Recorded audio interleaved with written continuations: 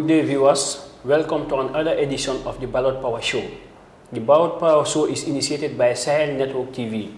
Basically, the intention of the show is to create awareness on voters' right, the right to participate in election, and all civil and political rights, and other related matters. Here I have Amadou Bah. Amadou Bah, can you please introduce yourself to your viewers? Um, hello everyone, like he rightly mentioned, I am Amadou Bah, a second year, second semester law student, UT, University of the Gambia. Amadou, thank you very much for introducing yourself and making it brief and explain uh, brief and precise for the viewers. Um, Amadou, we are in the Gambia, and the Gambia is part of Africa. Yeah.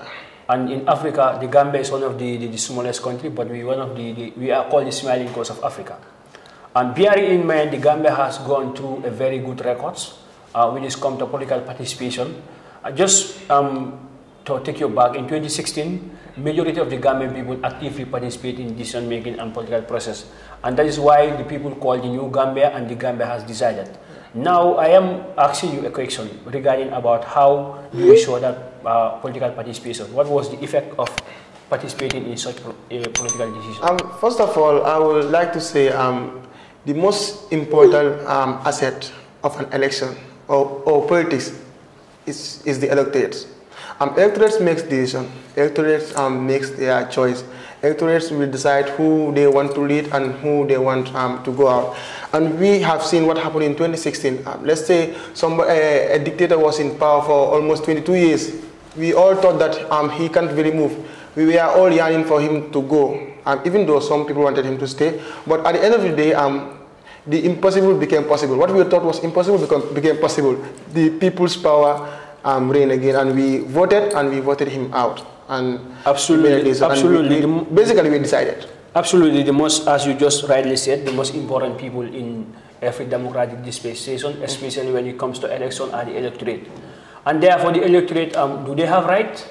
Of course, um, they have rights when it comes to um, election. Uh, if you look at um, Section 26 of the Constitution, it gives every citizen of the Gambia the right um, to participate in, in, elections, being it you want to be voted into office or you are going to vote people into office, even though there are some exceptions when it comes to um, being voted into office. So mean every Gambian or every citizen of the Gambia has the right to vote and, and be voted, be voted for. Yeah. Provided that you are you fall within the requirement of the constitution. And the requirement the is clearly stated by the constitution that you must be a Gambian, Yeah. you must be a person of conscious mind. And you must be of age also, which is very important. Exactly. Age also is very important because the Gambia, I think, is operating under the universal adult suffrage, where if you are below the age of 18, you cannot participate in election. Yeah, you cannot vote. That is uh, how the Gambia is But operating. um, uh, just uh, refer you back to the last presidential election. You have seen how the results were.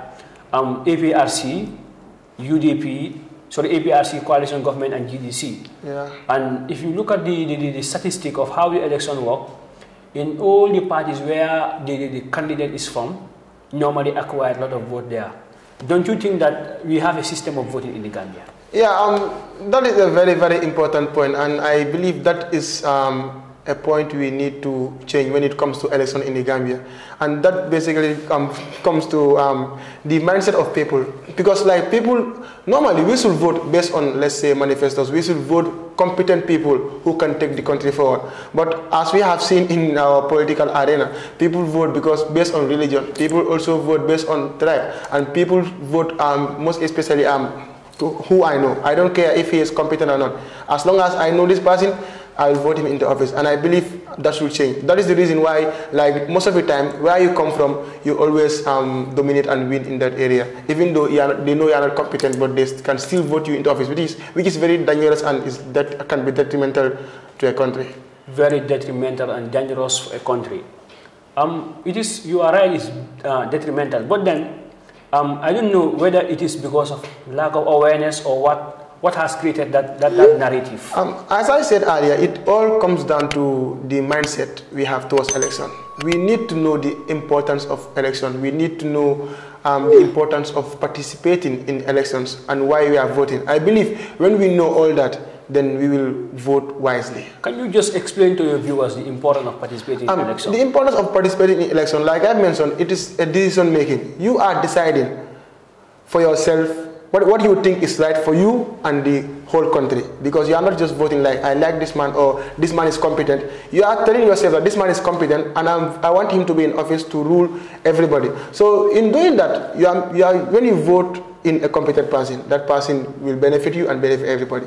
And when you decide to um, vote in an incompetent person, that person will, will not only um, harm you, he will harm the, um, he or she will harm the so what whole I country. Got, what I got from what you're saying, it means that um, voting is part of consciousness because you're voting for yourself and people that are yet to be born. Yeah. So I think Because um, when you look at, we have different kinds of elections. Elections is, does not only mean you are voting for, let's say, people to come into office. Let's say, for example, we have a referendum, which is, let's say, it is it is fast approaching in the country, or it, will soon take place in the country. You know, those kinds of elections, it's not about voting someone into office. You are making a decision for, for, for, for the present and future generation. So you don't want to, let's say, um, vote in, make, make a choice or make a decision that will harm this present generation and, and, and the future generation. Yeah, let me just read this comment. Someone just posted that um, does it mean that if person did not vote, did not have the right to, to, to, to say anything in the country? Like if you fail to vote and someone is put into an office, now you are complaining. Should you complain? Um, someone just posted it. First of all, I will please uh, beg everyone or encourage everybody to participate in the elections. Like I mentioned earlier, it is still a decision. Like when you decide to vote, you have made a decision. And when you decide to abstain, or decide not to vote, you have also made a decision. Why do I, why did I mention this? Because when you decide not to vote, I believe you are telling the people that just make a decision for me. Whoever you vote into office, I will go uh, work with that person. But that does not mean that um, you don't have a say um, in the country or how the country is run. So it's your right. With or without voting, you have a right. Yeah, in your country. But the best thing is doing the best, and Yeah. doing the best means voting. Yeah. So you're encouraging people to participate in voting. Yeah. So- you know, like there are two separate issues. P- uh, participating in politics, it's a right, It's a right. You- which, which you have to embrace. And also, like participating in the running of a country is another right, which we call right to self-determination, internal determination. And Yes. every citizen of a country has the right to participate in the affairs of his or her country. Exactly. Um, do you have the right to participate um, in your own affairs of the state. You have the right to have a say in how the country is being governed. Yeah. But equally, the most important thing, because in the Gambia, um, the head of state is, is elected by the people. The, Yes. the, the um, parliamentarians are also elected by the people.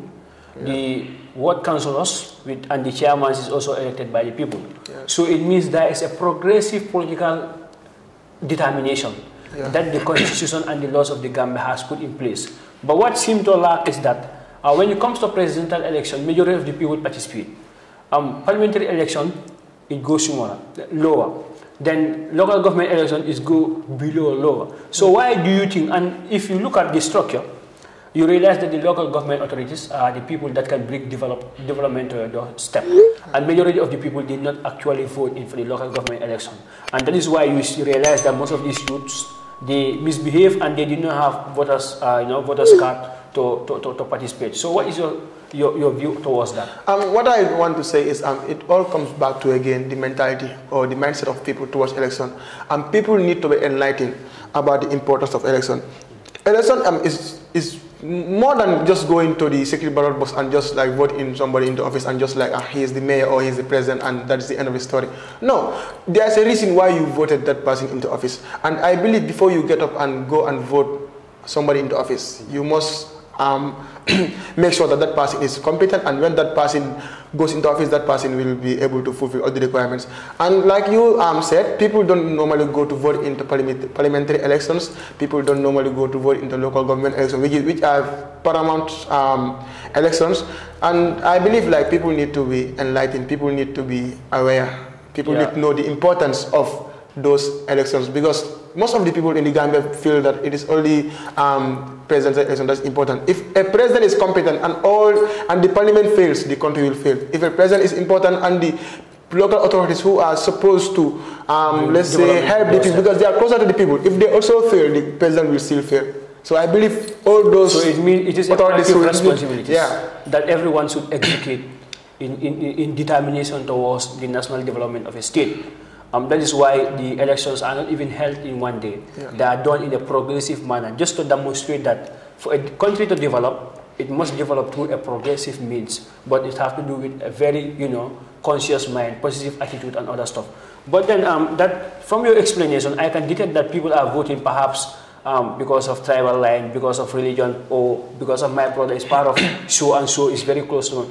But what do you think that people should vote for? Should they vote for ideas or should they vote for religion or tribes? Yeah, like I said, um, voting based on ethnicity, um, voting based on religion is detrimental. It hinders the development of a country. And the Gambia is of no exception. We are facing the consequences based on that. And we should vote based on, let's say, ideology. And the most important thing is competence. Like when a person is not competent, why should you vote that person into office? It's just like common uh, common sense. Like let's say in the kitchen, if you know this girl cannot cook, how can you uh, give that girl, like say, money to go to the market and come and cook? Like when you, if that girl can even poison you. And it's, it's, it's the same thing. You know this person is not competent, and you give that person to go and let's say go and cook. Um, obviously, that person can poison the development of the country, and we will all let's say wallow in poverty. The, a classic example that you give, I can also give you a similar example. Um, if you look at the last presidential election, um, you realize that when it comes to the areas of Foni, majority of the people in Foni voted in for APRC. Yeah. And majority of the Kombos, people in Kombo here, vote for the coalition government. And people in the provinces vote for Mamma Kandeh. That is just to say that uh, perhaps people are voting based on segments. Segments. Yeah. Which is not right. Because in, I think which is not right. That is my personal opinion. But my opinion can be subjected to criticism or it can be subjected to divergent view and public opinion. But what is important is to make sure that I think we vote people into power because of their competency.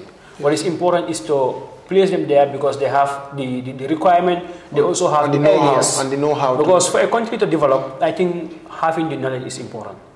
It's- What it's- do you say to that? Because some people will say it does not matter whether you have the knowledge, just have the experience or be honest. Because No. honesty also is important. No, you know, competence is, is a word, but there are a lot of things which comes with competence. You're gonna say like I'm com- I'm competent enough to be, let's say, a minister or competent enough to be a president, whilst you don't even have any knowledge on how to run a country.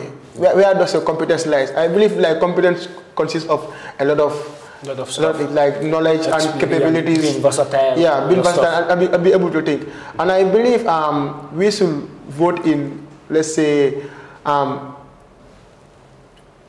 people with vision, people who create new things, but not managers. Like I don't want people to vote people who will come into office just to manage what we have. No, bring in new things. And, and, and, and that does take me to the, the participation that citizens need to participate in making sure that awareness is being created.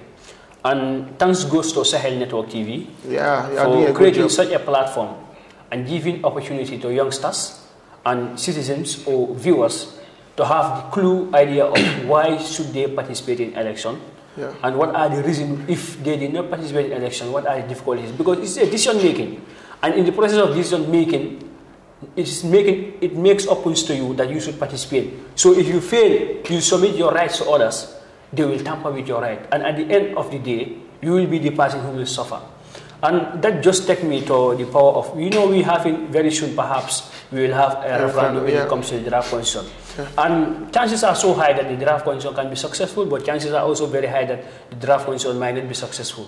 But having undergone through the draft constitution and seeing some of these progressive provisions within the draft constitution, I think it is amazing to advocate, the, the, the, give people the idea of what is in the draft constitution and the power of voting. Because I feel that the, the people should vote.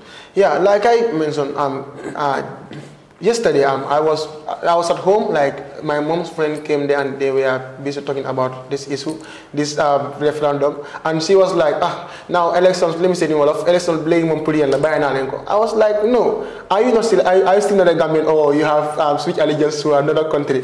Ah, we are all part of the decision. Being old or being young, we all have to make decision, and this decision is um, very very important. Uh, yeah, you are right. And we all know the threshold for a, a referendum. We are saying 50% of registered voters should come out and vote, and 75% of those voters should say yes.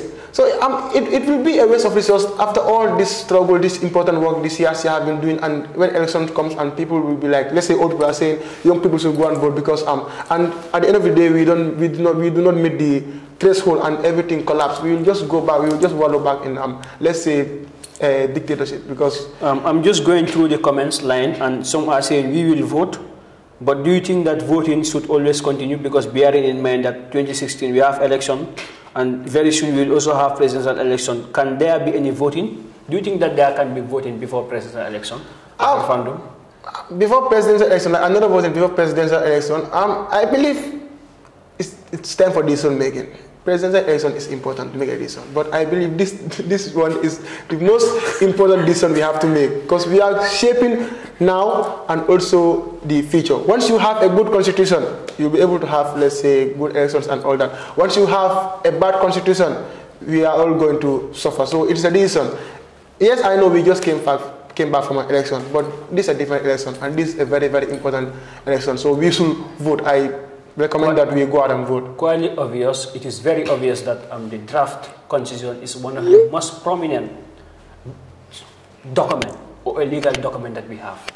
In fact, they call it the alpha and the omega, where all laws draft they are powerful, where it have created the power of who power should be given to and who power should not be given to. What is your right and what is, what is not your right how do you defend yourself? How do you initiate action before court? And what is the right thing to do as a citizen? Owing allegiance, being, you know, patriotics, having the Gambia where everyone will say the Gambia is a smiling coast, than to have dispute. I think the draft constitution has, you know, different, different matters that are very important for the welfare and the well-being of Gambians. And therefore, I will appeal to my viewers um, to definitely have a grab of the draft constitution and vote in for the draft constitution. On my opinion, if it was um, a, a, wrong provision or a wrong draft, I would clearly, you know, stand here and tell you do not vote. Because I have seen very, you know, I have saw the, the, the, the, the 1997 constitution, the draft constitution, but there are loopholes in the 1997 constitution that the draft constitution has, you know, remedy, and therefore we need to adopt. Because law, so long as it is dynamic, people's societal you know, perspective and belief evoke, then we must adopt standards. So therefore, viewers and, and good wishers of, of the Gambia, encourage your family members, people in the diaspora, to actively participate. And I know that this will be an opportunity if the draft constitution is come into being. Perhaps the diaspora will also participate in election because when I saw the draft constitution on the IEC, recently it is called the IEC, but then it is now called the, the, the Independent Electoral Boundary Commissioner. Perhaps it, is, will be, it will be extended to the diaspora to also have say on how the country is being run. So do not waste time that we did not have. Um, we have spent a lot of resources, as you just mentioned, yeah. and the, the, the, people that were in the draft council, they are people of competent and integrity. Yeah. Can you tell me just people about the draft council? How do you see those people? People yeah. are criticizing um, them, but... Yeah, first of all, like, when you even when, when you do good or let's say when you go around giving people millions people will still take people might still take it um, negatively. Yeah. what i want to say like um, people in the uh, in the commission are let's say competent people. Justice Jallow he's a very capable he's a capable man he's very capable. How, however um you know people are bound to have reservations. The draft constitution like you rightly mentioned um is way better than the one we are having currently and it is a good law. And but um, people will still have reservations, and myself also I have, I have some reservations. Like maybe you love the constitution, but I'm sure you have some reservations. So we need to um, respect um, people's dissenting view. That will make it, a, let's say, a better constitution. Because had it been like the constitution just came and everybody embraced it, we wouldn't have chance to know some of the things or loopholes possible in the constitution. But we, we hope and pray um, uh, this constitution. Someone is uh, just com someone is just asking, um, what is what do you think is one of the most important provision of the draft constitution? I think I will deal with this, or let me ask you, which provision do you think is the most important? Does it mean the term limit? For me, rise or what? Um, the I, like there are many important uh, provisions um, in the constitution, but the most important uh, one I think is um, the term limit is very important. It is very, very important. Let's say, for example, like when you know you're, you're in office and you know very well that, let's say, I only have 10 years. So you ought to, like, work hard to make sure that you leave a positive track record. But once you know that ah, I'll be here forever and the people love me, I can still be in office for 30 years. You maybe you will rest, you will rest on your laurels, and that will come to the detriment of the people. And I believe that section um, is very important, even though there are a lot of sections. And also, I have seen that women are given. Um, power or let's say women have their voice have been heard and also the young and also the media also like let's say i'm just conscious when it comes to fundamental human rights, um, yeah, it's, it's awesome. Definitely. Yeah. It's, it's, it's awesome. And I think you, you say in time limit, are you politically motivated to participate? Me, politically uh, motivated to stand? So because uh, you also want to be a president, perhaps. No, no, no politi- you, are, you are conscious of it. No, wait. Time limit. No, bearing in mind you have human rights. Are you mean politically motivated to participate myself or just participate in, in politics? No, you, you mentioned about, you know, the time limit. And most of the people that are calling for the time limit, there are people that are not even enjoying office right now. So perhaps it is an opportunity for them also, no. so that they will also. I am saying that from the side of the let's say electors. Ah, okay, okay. Electors to, let's say to give chance to different people because you might be. You, you might be competent, but let's say you have a, an area of specialization. You might be a president that, that loves sports. When you come, you can develop about sport. Somebody else can be a president that loves agriculture. And like as time goes on, when let's say for 10 years you love sport, obviously when you develop sport for 10 years and you do not succeed, obviously you are a failure, and nobody wishes to be a failure when you're in I want to thank you for having you. But before we wrap up this show, I am just want to remind the viewers that this is Sahel Network TV. Um, it is here right in the Gambia, and it has presented one of the best and the most important civil education show, which is the Ballot Power Show. Remember the Ballot Power Show, as Gambians, um, we must stand firm to make sure that the, uh, the, the, will and the aspiration of the Gambia is definitely, you know, being implemented. And the rights of people, it is important that so long as something is given to you, you understand it. And it is good we understand the fact that not everyone go to school and not everyone will have the opportunity to, you know, to have a grab of the laws of the Gambia to read. Yeah. But this is a platform that is created as part of the social corporate responsibility that every media or responsible media should owe to its people. And we owe this as a responsibility and we executing this responsibility. And we hope that you will learn from the, the, the show and you can also send in your comment and like. Do not forget to slide yeah. into the not notification button so that you will have a notification of, of these of other videos in Sahel Network TV. And hopefully, hopefully we will have another edition, interesting equally like this. And thank you very much, Amadou, for me yeah. having you here. Yeah, and finally, I just want to say, please, please, please participate in elections. Make your own decision. Don't allow people to make decisions for you. So go out and vote. Thank you.